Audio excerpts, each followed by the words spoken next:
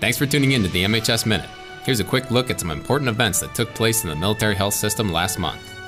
The Naval Medical Center Camp Lejeune has become the first Level 3 trauma center in the Navy. Rear Admiral Terry Moulton, Deputy Surgeon General of the Navy, led the center in celebrating its achievement at an official ribbon cutting on January 18th. Ten Army medical professionals became the first to participate in a new trauma program called AMCT 3.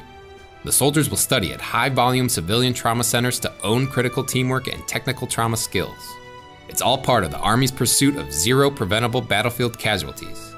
The Carl Darnall Army Medical Center was recognized for exceptional achievements in teaching. Its emergency medicine residency program is ranked in the top 10 in the country, and it continues to be recognized for safety and much more.